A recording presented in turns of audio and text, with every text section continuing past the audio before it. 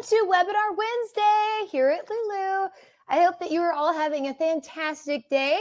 I see that no one has started the chat yet. So, who wants to be first?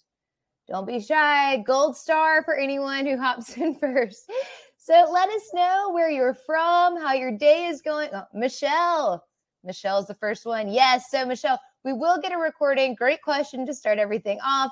So, everyone who is registered today will receive a recording of today's webinar. We will also post it to our YouTube channel. Um, so if you have to hop out early um, or miss something or want to review the presentation, you will get a recording to your email as well as on our YouTube channel. Chocolate, hello. Always good to hear from you. Ricky, hello. Uh, Carrie Ann, good morning. And Roy, hello. So thank you all for joining us. Um, let us know what you're working on. Have you worked with micro influencers before? Uh, how did it go? What are you hoping to learn? So hopefully I can cover all those points and we will all walk away learning something that we did not know today. So, hello to you all. Thank you so much for joining us.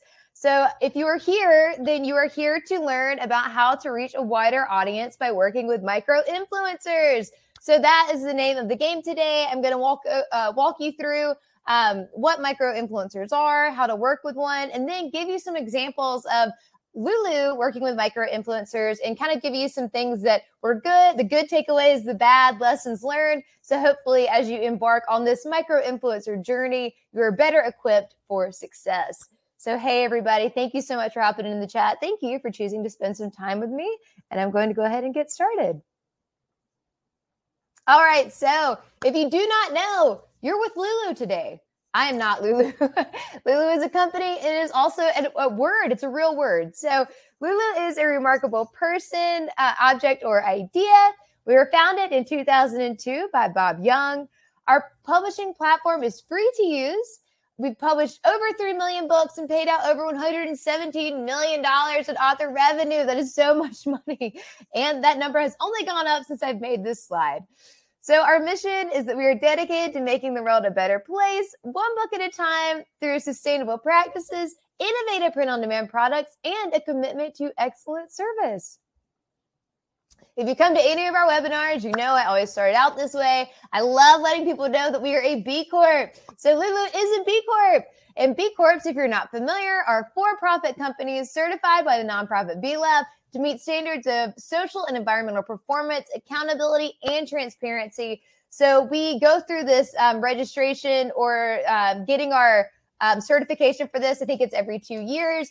We basically just try to do our best for the planet and the people that we work with, the authors that we work for. Um, so I'm always really excited to let people know that we are a B Corp. The B Corp is a the B Corp community is a fantastic org, uh, group of companies that have decided to do good for the world and try to use their for-profit companies for the betterment of this planet we all share. So the holidays are just around the corner. I read a newsletter today that said if you haven't started your holiday shopping, you're already late. A lot of people started their holiday shopping in May.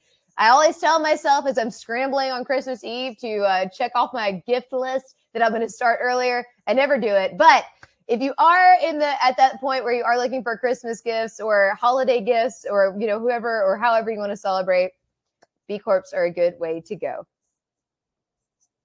All right, so I am Chelsea. I am Chelsea with Lulu. This is me and my cat. Uh, Batman will not be making an appearance today, unfortunately, um, but maybe one day we'll be able to get him to uh, to join us for one of these. So, without further ado, we're going to go ahead and get started. All right, so today we are here to learn about micro influencers. What is a micro influencer? Why would you want to work with one? How you can pitch to a micro influencer if you find one that is a good fit for you and your brand. And then again, as I said, some examples that of Lulu, where we have recently within the past year really started experimenting with this ourselves and just passing along some information that I think would be helpful to anyone who is kind of just starting out with this or interested in getting their, their feet wet, if you will, with working with influencers either the micro or macro level. But today it's about the micro. So, what is a micro influencer? So, the internet will tell you that a micro influencer is someone with a social media following of 10,000 to 50,000 followers. Um, so, basically, you're looking for someone who isn't huge, isn't enormous, but maybe more approachable for you and your brand. So these smaller uh, audiences are usually much more highly engaged than those of a larger uh, a larger following. And I'm going to give you a, an example of that in our next slide. So micro influencers can span all niches, topics, and genres. So there isn't just one set, there isn't just one subsect that is claimed the influencer or the micro influencer. No matter what kind of interest you have, I'm sure that there is someone that you may look to for information, whether it be fitness or um, you know pet toys or or um, you know nutrition, um, home decor, gardening, um, disc golf, real golf, you know, whatever. There are people who are influencing in all of these spaces. So, working with micro influencers can be a great way for you to really target your niche and reach them where you may not have otherwise. And because they have these smaller followings, it can feel more like a family and they're really having conversations and having discourse within this community that they've built. So, that's why they're great candidates to work with to help grow your brand. So, as I mentioned, they span all niches, topics, and genres. So, if you are here today as an author and that is your main um, business or your main interest or hobby, then there are influencers for all of that. Every social media platform has booktubers, bookstagrammers, BookTok. It's all a real thing, believe it or not. So, there's an influencer out there for you if you are interested in working with one. So, this last point I had on this slide, I wanted to mention that even though social media, so we're thinking about Instagram, uh, TikTok, YouTube, Facebook, those are, you know, when you think about an influencer, those are a lot of the platforms that you think about immediately. But also, you can find micro influencers in the podcaster space that have newsletters or blogs, and those can be really, really valuable as well. And I'll talk about that a bit later. But I want you to, as you begin thinking about this, really a micro influencer is anyone who has this you know 10 to 50,000 size audience obviously it can be a bit less or a bit more who uh, you know is is curating content for that audience making recommendations for that audience or just having conversations with that audience about how to live better and more productive lives or introducing things that they think their audience will enjoy. Okay so why would you want to work with a micro influencer? So i touched on this a bit in our previous slide but as I mentioned, followers are typically more engaged than that of macro influencers. So the example I'll give here, and I'm basing a lot of this off of a blog post that I wrote uh, for Lulu uh, based on the same title. And in that blog post, I gave the example of Amazon versus, you know, a, a smaller brand named Rothy's. So I was thinking about that example. And while I think it stands up, I think a better example is going to be this one that I'm going to share with you guys today. So you're getting the, the new and improved version of this blog post. So think about Starbucks. Everybody knows Starbucks. There's a Starbucks on every corner. You know people that that have Starbucks. They may have the cups or the mugs. You go there every day, whatever. That's fine. And surely there are people who really, really love Starbucks, but the majority of the people that follow Starbucks or engage with them aren't doing it because they love Starbucks so much. They're doing it because Starbucks is convenient. They're doing it because it's consistent. They know what their order is. They know what they're going to get by going into it and things like that. So that's one example of someone uh, of a, a mic, macro influencer, if you will. So Starbucks is the macro uh, of coffees, right? It's like them and Dunkin' Donuts. They're everywhere all the time. They get a ton of visitors to their stores every day, every year. So compare those followers and fans to Sola Coffee, which is the example I'm giving. Sola Coffee is a coffee shop, an independent coffee shop in Raleigh. So that's where I am based out of. Um, Lulu is based or started in Raleigh, is in RTP now, which is right down the road. So, Sola Coffee is something that several of our staff members really love. My boss loves Sola Coffee. He goes there every morning to get a coffee. He loves it. And not only that, but he talks about it all the time. So he brings his cup into work all the time. He's always talking about how great they are, how much he loves their coffee. He knows the owners, so that's an extra an extra added layer of loyalty um, that we have there. And because of his love of Sola Coffee, we've been more involved with them than just a transaction. So they have events that we support um, coming up in September, which is tomorrow, actually. Uh, they will have a 5K race where they will be raising money for ALS. This is something that has become very near and dear to Lulu. We've sponsored it, I think, for four years in a row. We put teams together that will run the race. We give them financial contributions. So that is just on top of several of us patronizing this store on a regular basis. So we talk about Sola because we love them because that, that they're that small mom and pop shop we feel like is doing good in our community. We want to be a part of that. We want to support everything that they do outside of even selling coffee. So for Starbucks, you don't really see that fan loyalty. I mean, again, sure, there are definitely people who love Starbucks and are committed to it, but the majority of the people who go to Starbucks are doing it because of convenience. There's really not that commitment there or that loyalty or that engagement of a Sola coffee. So I give this example to kind of show you a real world um, reference for micro influencers versus macro influencers. So of course we all know the the Mr. Beast or the um yeah, I'm trying to think. Of course, I'm blanking. I should have probably written these down. But whoever huge influencers that we see online, you know, celebrities that have these online followings in the millions. LeBron James, I think he's like has the the most of the millions, maybe, or Cristiano Ronaldo. Anyway, so there are people that have millions and millions of followers. However, working with them may not be as um, advantageous for you as you might think. Like when you just look at the numbers, you think, oh, working with this person who has 4 million followers, that's great. I'm going to get so much exposure. Maybe. I mean, that's definitely a lot of people that might look at your stuff, but the chances are when you get to that level, those people aren't checking your feed every day. They're not looking at these posts every day. They're not engaging with it on a regular basis. So that's something to keep in mind when we think about the power of micro influencers is again this Sola coffee example where the people that you that go to Sola that, that um, buy their coffee really champion that brand and the mission behind it and the folks that run it because you know them. There's a face to it and it's a very personable exchange and interaction. So, uh, another great thing about working with micro influencers is that it can be more affordable, which gives you a, a more of an opportunity to reach several new audiences and stay within your budget. So, there are opportunities for you to work with micro influencers on an in kind basis. So if you approach them and say, Hey, I think that your audience would really love my book, I think they're going to get a lot from it. I will give you five free copies to give away if you want to partner with me on this. I'll give you a free copy to read. If you like it, we can work on another collaboration. So it doesn't always have to be financial. You can obviously offer goods and services for free to the influencer as well. But there are also opportunities where they may say, Hey, I will do a post about your product, service, or book. If you pay me, you know, $200, $1,000, $1,500, it can go up from there.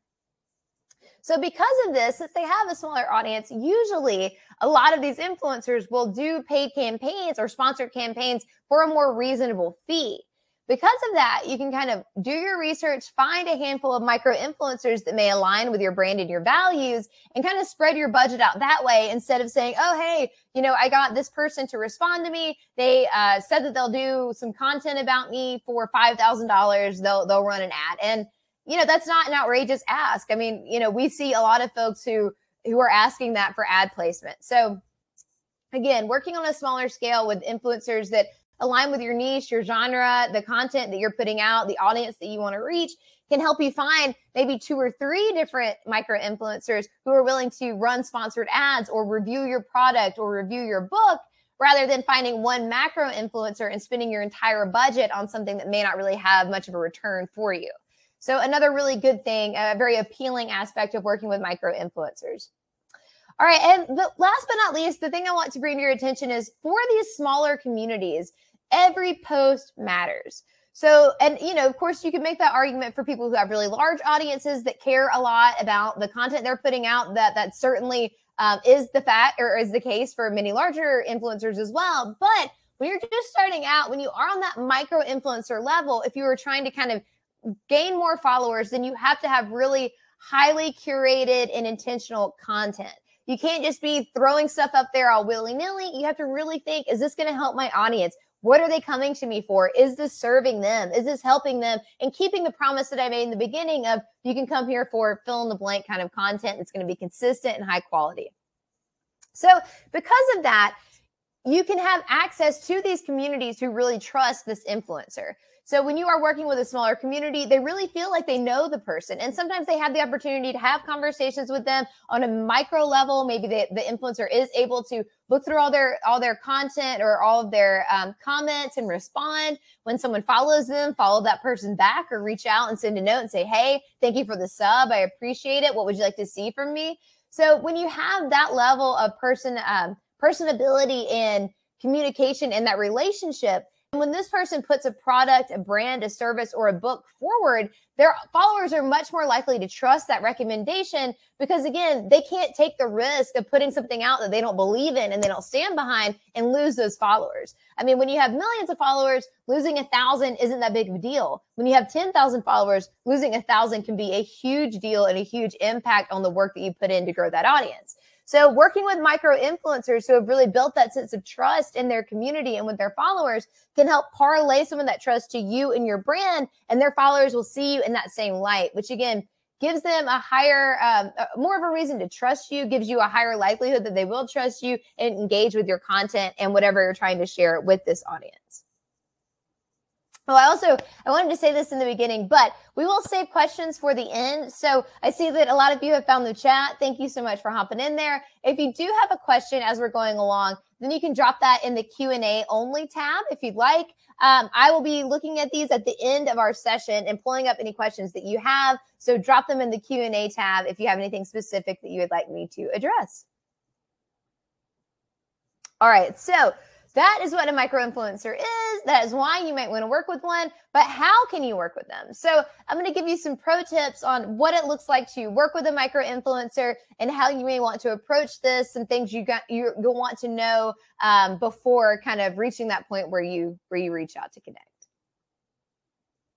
All right, so again, if you have come to any of our webinars, if you have been in the Lulu sphere for any amount of time, if you've watched any of our YouTube videos, like and subscribe.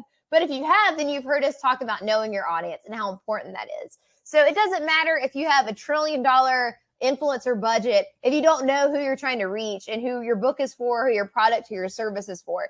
So that's why it's just so important to, before you even start researching who you may want to work with, before you start reaching out, definitely, before you start kind of even thinking about what a budget might look like, what a campaign might look like, you need to know who your target audience is. So who are you trying to reach? So we talk about this all the time with authors and finding your ideal reader. Obviously, this goes for entrepreneurs, small business, and content creators. Who is your content for? Who is your book going to help? So there is a great positioning statement you can use if you don't know who your target audience is. I believe that this is a, we have a YouTube video called um, How to Position Your Book. So if you aren't familiar with how to fill in a positioning statement or what that is, basically it's a sentence that you fill in the blanks for that'll help you find who your book is going to benefit and what that benefit to them is going to be. So that will help you narrow down who they are, who should be reading your book, who should be interacting with your brand, and who is going to get the most out of your content. So if you're not clear on who this is, start here. Figure out who, when you wrote that book, who do you know will love it? Who will be delighted in the content? Who is going to love your brand and get the most out of it? So think about who that person is and then you want to kind of follow that and say okay well where would this person go? What what youtube channels are they watching? What what websites are they visiting? What newsletters are they subscribed to? What podcasts are they listening to? What community events? What events? What concerts? Uh, you know all of that. Where are they going and what are they doing? And then you want to see where that intersects with your content and your brand and how you can reach them.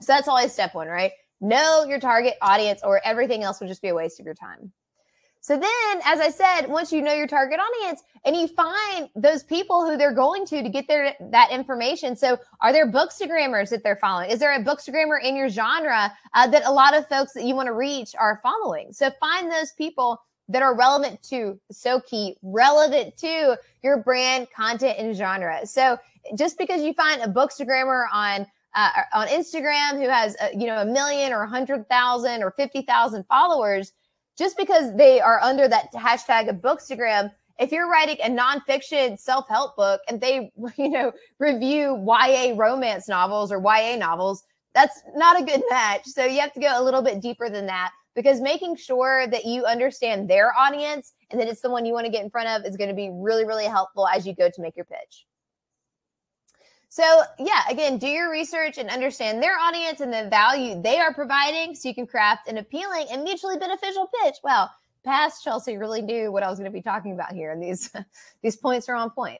Um, so yes, you want to know your audience, and then you want to understand how they're interacting with their audience. So is the audience they built going to them for book recommendations? Are they going to them for self-help tips? Are they going to them for productivity? Are they going for um, you know hacks on fashion or makeup or you know skincare whatever whatever it is just make sure that you understand that your audience and their audience intersect and that you're and that you will be able to add value to their audience.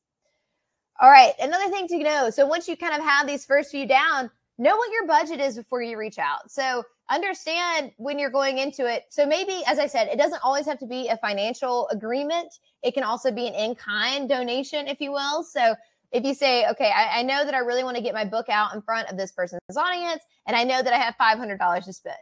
understand your budget going into it so you don't kind of get into a conversation and they're interested in working with you and then they say hey my rate per post is 700 800 1200 dollars and then you're kind of you, you know you can't really go any farther with that because that's out of your budget so if it is financial understand what that number is if it is an in-kind donation say hey i'll give you 12 books i'll give you um, you know a, a free book for you to review and then we can do a giveaway together i will give you a free coaching if that's what your your business is or that's what you're trying to share. So you want to be able to add value for them as the influencer and then give their audience some value as well. So be really clear on what your offer is before you reach out and what you're comfortable doing. And you know, you may start at 500 and if they come back and say, "You know what? 700 is really what I'm looking for here."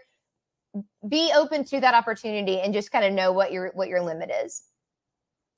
Uh, next up is be flexible. So not only with the budget, but when you are reaching out to these folks, understand that they know their audience better than you do. So even though you did your research and you know what their interactions are like, they may have an idea. So you may come to them and say, Hey, let's do a giveaway for five books. And they may say, okay, well, we could do that. Or what if we did a caption contest on this photo? And then, you know, I give one person this and we do this. So they may want to iterate on your original idea. And so just be open to that. I mean, them collaborating with you is the best case scenario because then they're offering their insight on what's really worked for them in the past and what they think their audience is going to like. So, uh, one one of our very first collaborations that we did was with a skateboarder, a professional skateboarder who published um, with Lulu. His name's Walker Ryan.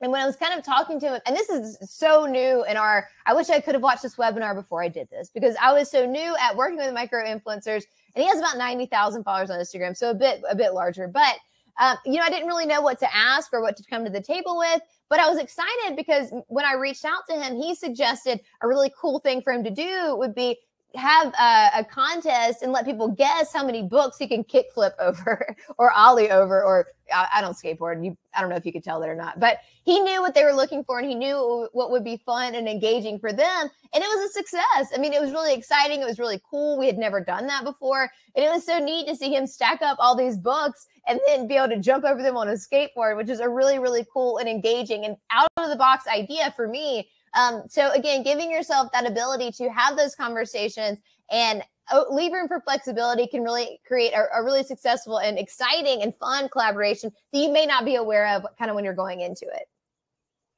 So you also want to, before you pitch uh, to micro influencers, you also want to be really clear on what a successful campaign will look like for you. So when you go into it, I mean, there are so many things that you may be wanting to get out of this campaign. So you know, obviously, maybe you want to drive traffic to your website. Maybe you want to drive um, followers to your Instagram, to your social media channels. Maybe you want to drive email signups. Maybe you want to sell products. Maybe you want to book consulting calls. Um, maybe you want to get engagement on a certain post. Maybe you're looking for reviews. I mean, the, the possibilities are endless. And for every micro influencer campaign you work, you, you kind of coordinate or collaborate or, or work on, those goals can probably change and the way that you will measure success can change. Um, so for one, if you're just trying to, to reach a brand new audience that you've never gotten in front of, maybe for you, it's just kind of getting some new followers on a social media account, just so you can kind of start that relationship with that group or audience. Uh, maybe it's again book sales. So maybe you have a book launch coming out and this is part of your launch campaign and you just want to see those numbers on that sales sheet. And that's fine too. Um, and again, maybe if you offer a, a, service, you want to book consulting calls, maybe you're selling a course and you want to drive registrations for your course. So it can be, uh, you know, it really can run the gamut on whatever you are trying to do to grow your business, finding a campaign that can align with that.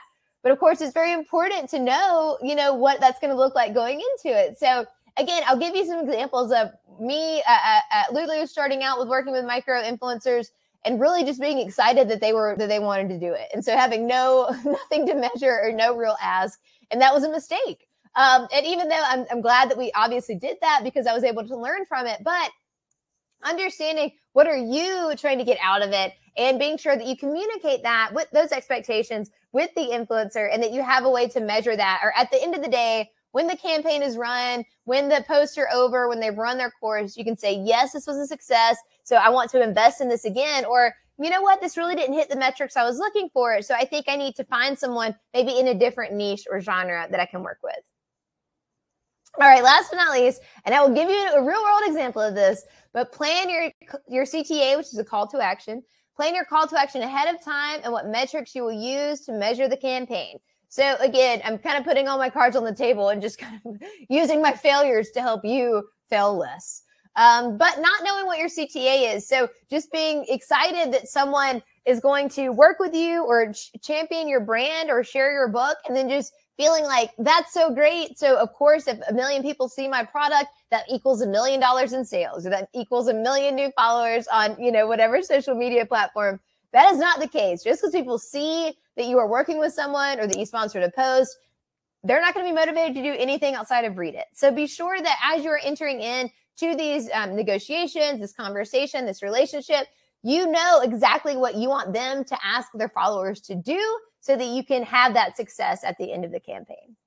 Oh, and how will you measure it? So again, if you are, um, you know, this is going to change for every platform you may be working with. So social media, maybe you are just looking for likes, followers, engagement, you know, things like that. If you are sponsoring a podcast, you're probably going to look at traffic to your website or purchases from your website or you know bookings with you to do whatever it is that you're wonderful at doing um, if it's a um, newsletter again maybe click-through rates maybe um, responses to the newsletter maybe um, you know again bookings or traffic to whatever link you put in the newsletter things like that so you want to be really clear based on the different platform you're using what you're going to be looking for in regards to metrics. And I, I, think I may have this on the next slide as well, but the majority of platforms that you work with or sponsor or um, collaborate with are going to have some sort of metrics they can give you. Um, so it doesn't have to be you all looking at your stuff. They should be able to provide some data, you know, on, on how the post performed as well.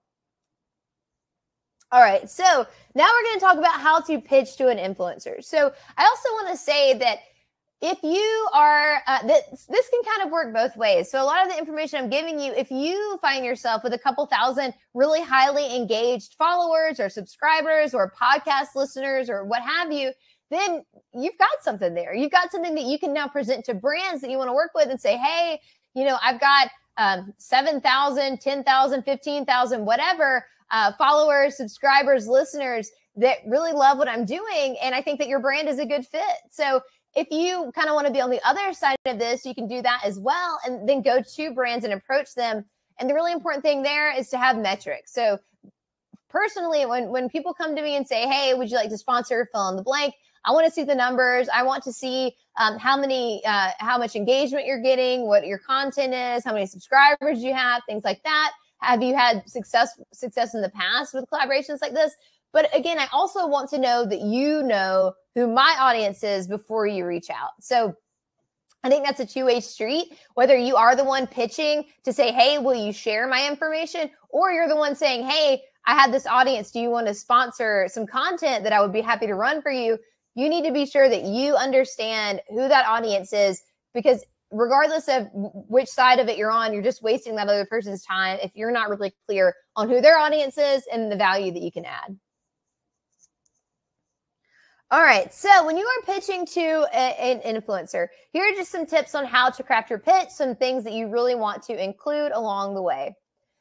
So be sure that the collaboration is appealing and simple. Keep it simple, smart person, as the saying goes. So you don't want to make them have to jump through a bunch of hoops and, you know, go on a trip or, you know, buy the book and then edit it for you or, you know, whatever. You want to make the barrier to entry really easy because at the end of the day, we all have other things going on, whether it be in our business, our personal lives, whatever. So you want it to be really easy for them to say, yes, I, I think this is worth my time. And you made it so easy for me. I'm going to do it. So again, you want to be flexible on this, but maybe saying, hey, here's what this could look like. Here, you know, uh, a lot of times when I reach out to micro or macro influencers, I'll say, here's what we've done in the past. Um, you know, and I'll show some examples of that, of course, but giving them some information or kind of getting the creative juices flowing or saying, this has been really successful for us. This may work for your audience because I know what they're looking for and I'm seeing the kind of content you're putting out. So maybe doing a post like this could work. Running it for this amount of time might work for you. Doing it at this time frame might work.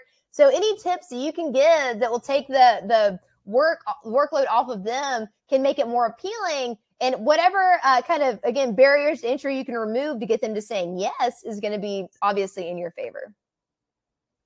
So let them know what compensation you're willing to offer and if it's negotiable. So I put the negotiable thing on here. Again, this is kind of up to you, depending on who you're working with, if you kind of want to put on your cards on the table. But really, what I wanted you to think about there is, again, knowing your budget, knowing, hey, I can afford to give you X amount of dollars, or I can afford to give you a free coaching, a free um, seat in one of my online courses, a free ticket to this event that I want you to promote, a free, you know, uh, whatever, whatever it is, free access to fill in the blank, or you know, free books, etc. But you have to know what you're comfortable providing and what is going to make it worth it for you. And also, you know, you want to leave some room for negotiation, of course. And I said, let them know if, if it's negotiable, but really, I just want you to know if it's negotiable because you don't want to get in a situation where, for whatever reason, you decided, hey, my budget is 500, but this person wants a thousand. So I'm just going to go for it. And then you're sitting like, you know, brooding in the corner, brooding, brooding. Oh, I say that word wrong, whichever it is, correct it in your mind, but angry in the corner because you overspent your budget and you didn't want to, but you felt like this person was going to be a good fit and they weren't. So make sure you understand what you're comfortable spending, what you're, what you're comfortable giving for this opportunity. And then if it is someone that you feel, because you've done your research, is very aligned with your brand and you know for a fact that all their audience is going to love, love, love what you're doing and the content you have to share, then you can maybe say, hey, you know, my budget is up to this. Or, you know, maybe they come back with another number and you can start that conversation, but just kind of know going into it what you're comfortable spending and have that clear in your mind so you don't feel like you've been fleeced at the end of the campaign. All right, another important thing is know your time frame for the campaign. So, you know, if it's time sensitive, you need to communicate that right up front and say, "Hey, I've got a book launch coming up in in, you know, a month in a couple weeks. I really would love to have these posts um, correspond with that launch. I think that, that would be really helpful. So, if you're wanting to uh, if you are thinking that you want this person to review your book, that's going to take some time. And you need to be aware and considerate of their timetable as well a lot of folks who work with sponsors or organizations or individuals regularly may have their sponsorship calendar or their ad run planned out a couple months in advance. So, you know, you don't want to be pushy and say, Hey, I need you to do this today because my book is coming out tomorrow. So, hey, thanks so much. You want to be able to reach out to them and say, Hey, here's what I'm looking for. Here's a time frame that I'd love to see this executed. Is this doable? You want to have these conversations in the beginning so that again you don't get too far down the road and then it doesn't work or the timing isn't right or they didn't understand that you were on a timeline and then it just kind of you know negates all the hard work that you did. All right so you also uh, want to choose how you will measure success and what analytics you will request from the influencers so if you're working with someone who has done a couple of these before then they will understand that they it's that they need to or should provide some sort of analytics for the post so, um, depending on the platform, most platforms are going to give you, you know, some analytics are going to be built into it. There's some things that you're going to be able to see on your end, such as sales or UTM, um, which is just a, a link you can provide that will give you tracking for a specific campaign. So there are things on your end that you can see, obviously, and there are things on their end that they can see. So how many people engaged with this post? How many DMs did they get asking for more information? How many people liked it? How many people shared it? So things like that, they should be able to be, provide to you. And so it's up to you to have this conversation in the beginning and say, hey, for this campaign, you know, I really want to see how engaging it is. I want to see how my language um, worked with your audience. Did they, did a lot of people click on it? Did a lot of people watch the video? Did a lot of people link out to my website? Whatever it is. So choose how you want to measure success um, and what you will request from the influencers. So again, most people will say to you, I will give you post analytics when it's run its course. But if, if not, just be prepared to say, hey, can you show me, you know, who liked, who subscribed, who who clicked to my site, who, you know, how many engagements did you get on this post, whatever that looks like for you. And this last one I put on here, and I mean, best practice will tell you to to have a contract, of course, to protect you and the person you're working with.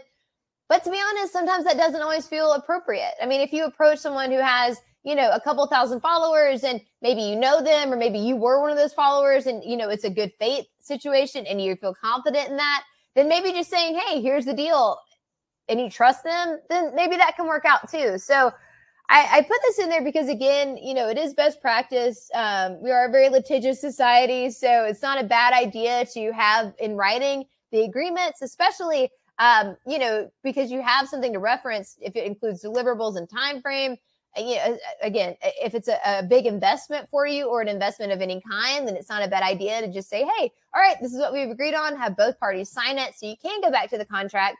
And this isn't just a worst case scenario kind of situation, but it, it again protects you both, right? So you know, if the if the person you're working with says, "Hey, um, I chose six winners for this giveaway," and you say, "Hey, well, you know, in the contract we said five that I'll provide five, then you know that's a, a point blank, black and white. We agreed on this. You signed it. I signed it. This is what I'm I'm willing to provide." So it can help you, um, and it can also help them if you kind of get a little bit excited. I would say and say, "Oh, this this really went well. Let's run it another day, or let's do this again." And they say, "Hey, well." You know, thank you. We can have that conversation. But for this ad, um, or for this sponsorship, we said it was going to run three days and that I was going to do two posts. So again and regardless of if you're um, here today to learn how to work with micro influencers or if you are here today to pitch to or to become an influencer yourself these are good opportunities for you to to just think about when you're on again either end of that conversation all right so this is uh, t- shifting gears a little bit, but if you are the one who is pitching, who is selling, um, who wants to get your books out there, well, uh, there are a couple ways you can do that. So, of course, regardless of what you're selling, you want to maximize your sales options. I'll put on my put it back on my Lulu hat if I ever took it off to talk about these really quickly. So for Lulu, we have three options to sell your book. So if you are selling your book and that is what you're approaching a micro influencer for because you want reviews or book sales, you want to make sure you have somewhere to send these folks. So where are they going to go to buy your book? So make sure that you've got your links, that you've got the back end set up, that you're ready to take on all these orders, this influx of orders that you'll be getting from working with this influencer. So, of course, first up, you can work uh, sell your books through the Lulu bookstore. Lulu accounts are free. You can make one today if you haven't already. Upload your book, and then once you get your proof copy, again, all this information is for naught if you have not done your job in, in offering a really good product or service. So here we're talking about books. If Lulu makes your books, you're good. We make beautiful books. I, I saw one person in the chat, Roy, said he loved Lulu. Thank you so much. So there's at least one person who thinks we make good books on the call today. All right. So you want to make sure that your book is good. Once the proof copy is approved and it looks wonderful, then you can sell it through the Lulu bookstore. We have an 80 20 revenue split there. So you keep 80% of the revenue, Lulu gets 20. You can also go through global distribution. So if you are hoping to um, sell your book, you know, through uh, Amazon, Ingram, or Barnes and Noble, our global distribution option is fantastic for you. So you upload your book, approve the proof, and then you can send it through those channels. So again, when I talk about getting your ducks in a row before reaching out to these influencers, if you want to go through global distribution on Lulu, it'll take about four to six weeks for your title to be live on Amazon, on Ingram, on, on Barnes and Noble. So just another thing to be aware of when you're kind of planning out that timeline. Last but absolutely not least, sell on your own website. So I would recommend highly that if you are um, working with an influencer campaign, you will have a way to sell your books directly. So even if you post, you work with someone who does a great post for you on social media and you have a ton of traffic to buy your book, if you're not selling through your own website, you can't get those email addresses, you can't see who bought your book, um, and you're not going to make as much per sale. So with Lulu Direct, you can sell through your own website. We have an integration with Shopify as well as WooCommerce. The, our, our apps for those platforms are free. So you upload your book, sell it through your own website. You're able to keep 100% of your revenue. You get transactional data so you can grow your email list and start owning that audience, which is so important.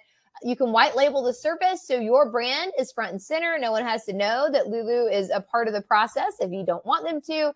Um, and uh, you can automate the print and fulfillment. So this is a completed, completely automated solution. You just plug into our, our apps, start selling your book as orders come through. They're sent to Lulu to print and fulfill. Completely automated. You never have to worry about guesstimating how much stock you need um, or how many you should keep on hand. So a really great way to couple your micro influencer campaign with direct sales and create something really, really powerful. All right. So now, as I promised, I'm going to talk about some micro influencer campaigns that we have done um, to kind of show you what worked, what didn't, and help you on your journey. I'm wondering how much longer I can use this image, but it's just so great. I, I mean, the tiger, Joe Exotic in the wild, I just, I'll probably keep it infinite, infinitely. Okay, so I talked about things that I would have done differently. Hindsight is 2020. So Tika the Iggy, if you are a fan of fashionable canines, look no further than this dog. This dog's been on the Drew Barrymore show. Uh, I was looking at a People magazine about a year ago and saw this this dog. So Tika the Iggy is a beautiful Italian Greyhound um, that wears clothes that will put you all to shame. Her wardrobe is unrivaled. It is exquisite. So Tika the Iggy works with Lulu. Uh, they make calendars through us. They've also done a children's book through us. Um, they also sell direct, so they're really kind of doing all the things. They're nailing it. So as you can see, Tika has over a million followers on Instagram. Um, incredibly popular Instagram account. They do photos of this dog in, in beautiful locations and beautiful clothing. It's a great niche. Uh, and they did a calendar with us. So I was really excited to see um, that someone with such a large following was using us. I saw, I thought it would be a great opportunity to collaborate with them. So I reached out in 2021. I believe this was in November or December and said, Hey, we would love to do a giveaway with you. So at that point, I kind of saw that they were doing sponsored posts regularly. So I felt like since they were already working with us, this would be a good um, collaboration. I thought a giveaway would be great because their audience is so engaged and loves this dog so much. So I knew that they would be thrilled to get a calendar. So when I reached out to them, I just said, I would be willing to give you, you know, five free calendars. Let's collaborate. This will be great. So they were excited. They said yes, they wanted to do it. So on their post, they said comment with your favorite part of 2021 or what you're looking forward to in 2022. So as you can see, I just took a little screenshot of the post from their Instagram. It got 88,000 likes. That is a lot of likes. It got 1,700 um, responses or, or entries to it. And you'll see here, we gained eight Instagram followers from this collaboration. so I could not see like the the trees for the forest, if you will, or the for. I, I only saw the forest. I didn't really see the trees. Or again, not really nailing my examples today, but I, I essentially just got so excited that they had such a large following. I did not ask for anything. I, I was kind of too nervous once they started communicating, and they're so they're so nice. The, these guys, Tika's dads are like the nicest people ever. So but I was kind of nervous. I didn't want to um, ask too much and then have them say, no, we're not interested or, you know, it not work out. So what I learned from this was you have to have a CTA. You have to go into it knowing what you are looking to get out of it. Because honestly, when I did this, this is one of the very first ones we did. And I was just so excited. And in my mind, I was like, a million people are going to see this. Like, of course, I, I, can't even, I better tell our accounting department to get ready because we're going to have a flood of new authors and new customers.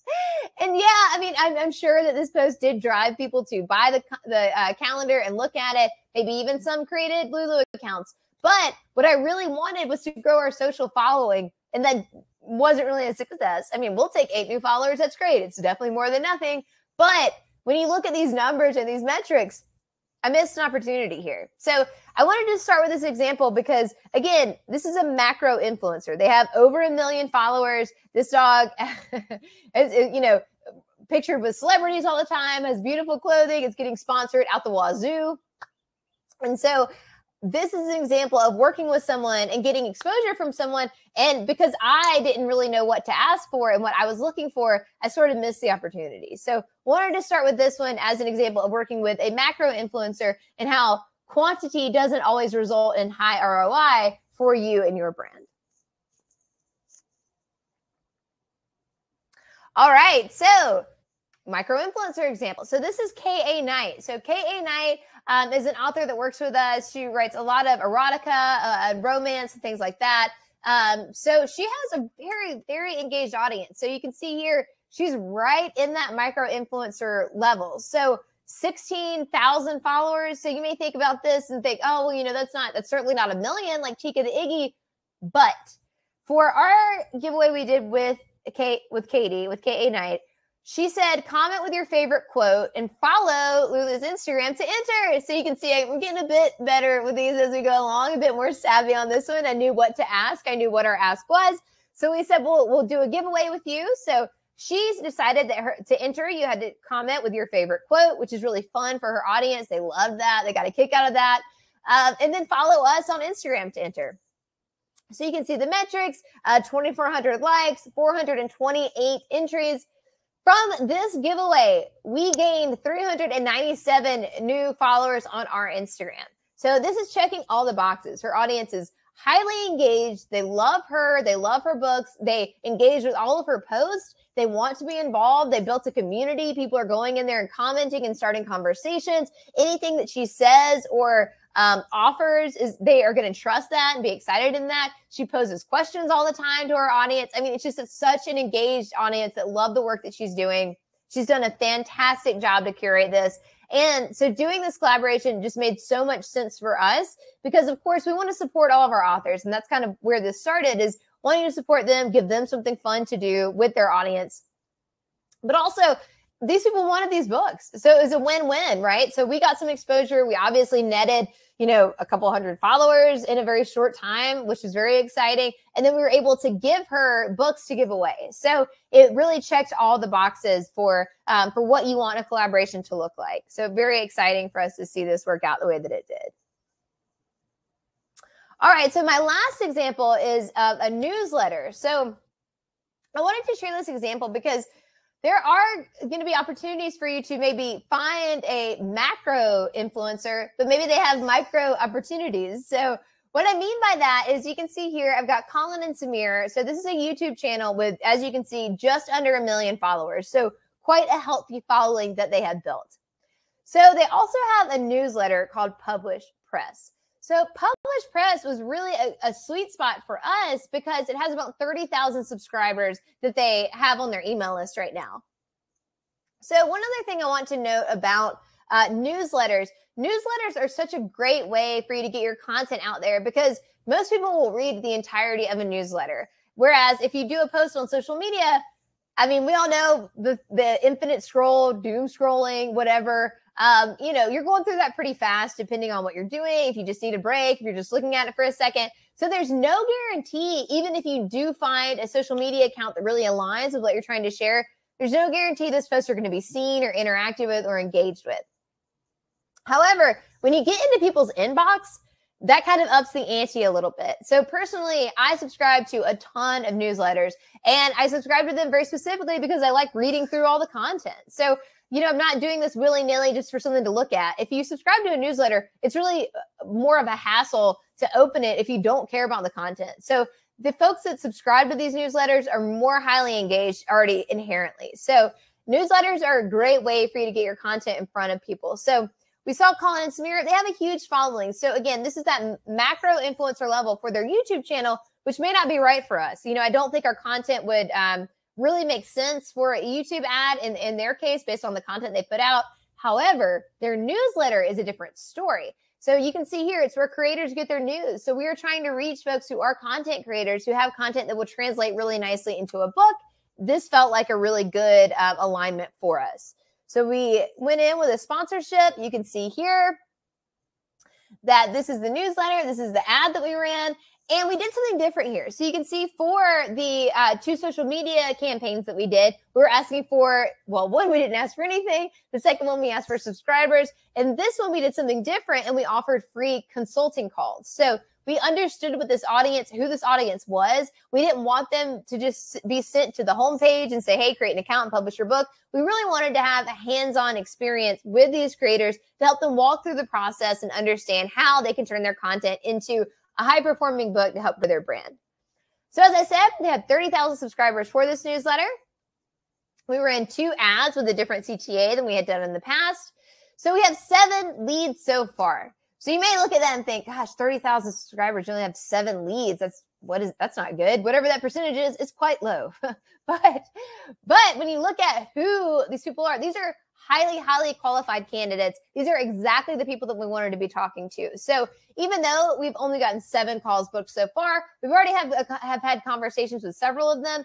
And these creators combined, when I look at the social media accounts that these seven folks have built, the communities that they built up, we, we're able to reach over a million people when we do this right. So when we work with them, when we help them really interact with Lulu and really get through the process successfully, they will be become, you know, macro and micro influencers of ours on their own. They will be telling their audiences to buy their own books. So all these people are working on print projects right now, different books, whether it be cookbooks or devotionals or you know i spoke yesterday with a guy who works with content creators in spain so he's going to be driving all of those people to lulu to print and publish their books so even though when you see seven of 30000 that seems like not great doesn't seem like a success but when we look into the metrics and we knew what was really important to us was getting a few highly qualified candidates who have larger audiences that we can help them reach through helping them publish and print their books. So this is a really good example of really being clear on what success looks like for you,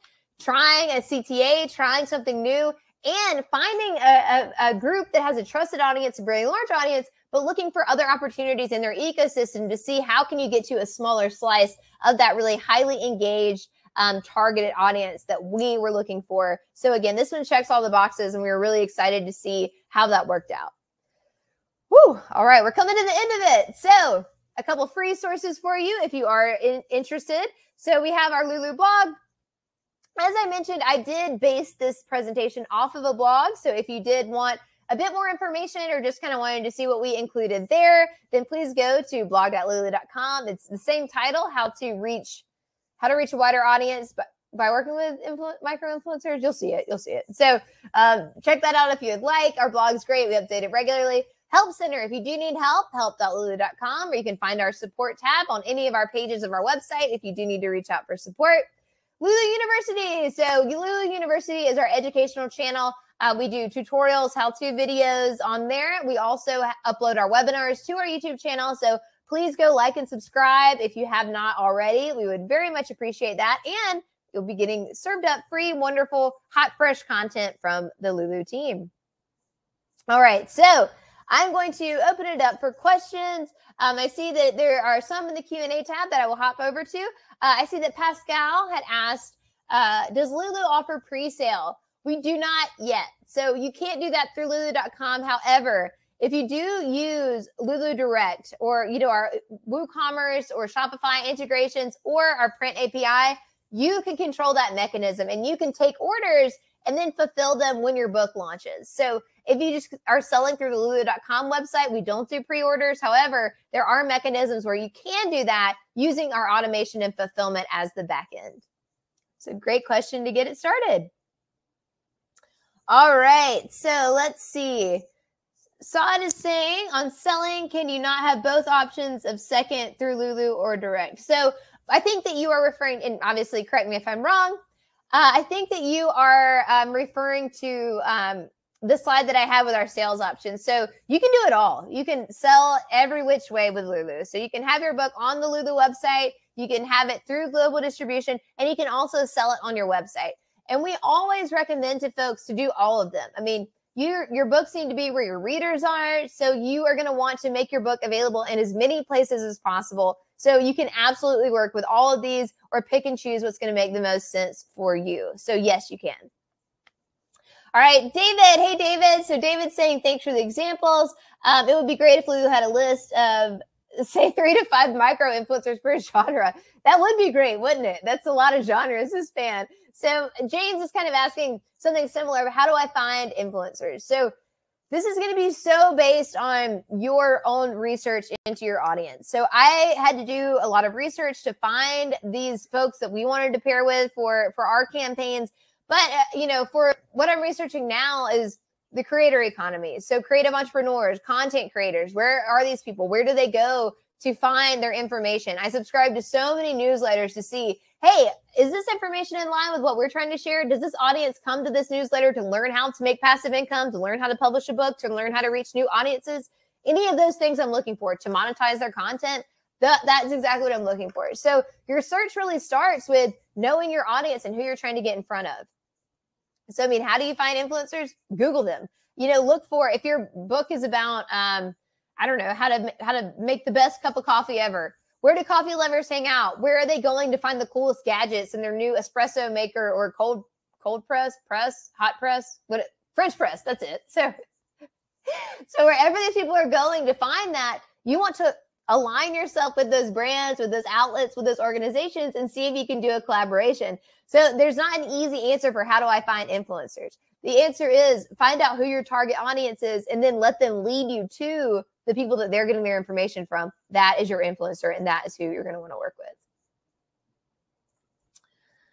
All right, let's see. Okay, I'm going to do a last call for questions to see if you guys have anything. So, as I mentioned, you know, you uh, you you will get a, a, copy of this recording through the email that you use to register for the webinar today. It will also be posted on our YouTube channel within about 24 hours. So, my best advice to you to find your influencers is know your audience. I, I say that ad nauseum, but it's because it's so true. If you kind of just go to Google and say, who are the top influencers? you're going to get Mr. Beast. He has 100 million followers on YouTube. The chances of you getting in touch with him and for the campaign to be successful, those are pretty slim. I mean, I, I started with the example of working with an, a million follower account. We got eight Instagram followers from that. By working with someone with a 16,000 follower account, we netted almost 400 followers from that. So you really want to be thinking about who is in line with your audience and who is in line with your content and how can you connect with them. All right. Um, what if you know or think you do? Mine is a beach book right now. So if you think that you do, that's a great, that's a perfect way to start. So beach reads, where do people go? I mean, there are whole websites devoted to finding your beach read. Reach out to them. See what communities they're on. Do they have an email list? Do they have a newsletter? Can you collaborate? How can you get on their list? Um, so that's a great place to start. I think that you do know. If you think you know, you probably do. So start looking for that. Go to Google. Where are people looking for beach reads? What do people want to read on the beach? How are they finding it? What book list can you what book list can you be involved in? I would bet you that there is a social media account that is just dedicated to reviewing beach reads. Go out there and find it. I, am guessing that there is. I know you can find it. And good luck. All right. So Kurian is saying, I write educational books. My audience are teachers, schools, parents, and homeschoolers. Where do I start? Really hard to find legit influencers. I don't want to invalidate you, your comment on it's really hard to find influencers, but I will say for Lulu Jr., that is our audience too. That is exactly our audience. We want to talk to teachers. We want to talk to parents, specifically homeschoolers as well. There are so many mommy blogs and so many channels where moms, where homeschoolers are getting in front of people and saying, Hey, I found this great list of resources. I read this great book. Here, here's what you can use to help your curriculum. Here's how you can stay organized. Google any of those things homeschoolers, parents of young children, um, teacher forums. I mean, Facebook groups are a great place for that as well. So looking at these Facebook groups, joining them and just starting the conversation. So you don't have to start it as, you know, with your advertiser hat on. You can kind of just join these groups, see what they're talking about, and you'll probably hear you know, just being a fly on the wall, say, oh, you know, I read in this newsletter, or I, I did you guys see, you know, this social media influencer's latest video? I love their tips.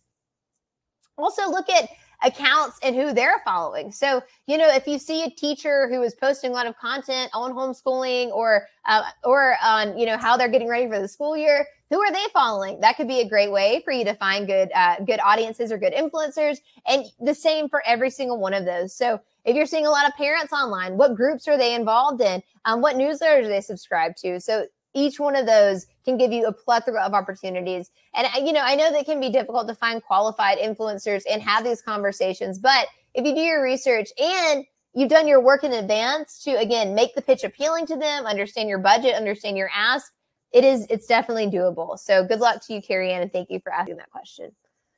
Um, all right. When, so James is saying when you do a Google search, you use micro influencer title or something else. So when I look for you're going to want to play around with keywords for sure. So when I'm looking for right now, as I said, you know, creators. So how can I get in front of the creator economy? So what I'm searching for are best YouTube channels for creatives, best YouTube channels for content creators, where best communities for creative entrepreneurs. So I am using every configuration of these keywords. I know content and I know creator are, are what I'm looking for, but some people call themselves creatives. Some people call themselves content entrepreneurs. Um, the creator economy is another another thing that you can look for. So, or that I would look for. So, if you know, you know what you're looking for, you want to, um, you really want to be playing around with all those keywords to see what will come up. Because, I mean, this may take an afternoon. It may take you know several days. It could take a week for you to find this person, but if you've done your due diligence and you find the right qualified candidates, it can be so, so worth it. So, I mean, I wouldn't, I would not Google just micro influencers. That's not going to be helpful. what you need to do is get really niche in what you're looking for exactly. So again, I'll go back to the the beach read, um, the yeah beach or, or waiting room read. So for that, if I was looking for an influencer for that, I would say beach reads, you know, beach read websites, social media accounts that review beach books, um, summer reading lists, easy summer reads, books to take to the beach. So just playing around with these keywords until you're finding the websites that are going to list those books, the social media accounts, you know, top 10 beach reads that I came across this year, things like that. And then you can continue to narrow it down until you find something really approachable that's going to work. All right. Um, thank you, John, Chris, and Carrie Ann. All right. So, what is the best site to find book reviewers with 1,000 to 5,000 followers? I don't know. You can Google it. I, you know, I, I know that there are there are certainly websites. I mean, I get emails all the time from websites that are like, "Hey, find your perfect influencer." I don't think that that's the right way to do it. I, I again would really start on the level of you understanding your audience and letting them lead you to the influencer rather than just googling influencers with 5,000 that have 5,000 followers and going that route because I feel like it's a much more genuine connection when you follow your audience to the influencers they follow. Um, but you know, everything, you know, who am I to say? You know, I'm I'm working on this too. We've been doing this for about a year now, and we we're going to continue doing it because we have found a lot of success with it. But it's it takes some time, and obviously there are going to be some that really pan out. There are going to be some that you realize this wasn't the right audience. But for us, I'm looking for who my audience is looking for, and then getting in touch with that person. So not really the other way around. So that's that's what's been successful for us, um, and and I think that that might work for you as well. But that being said I'm sure if you type in, you know, Bookstagram accounts, you know, then you're going to get a list uh, with varying ranges of audiences, and, and that could be a, a, good starting point as well. All right. Um, what about micro micro influencers between 2,000 8,000? Do you feel these can be effective? Uh, yeah. Oh, 100%. Yes. Really, what you're looking for here. I mean, the numbers.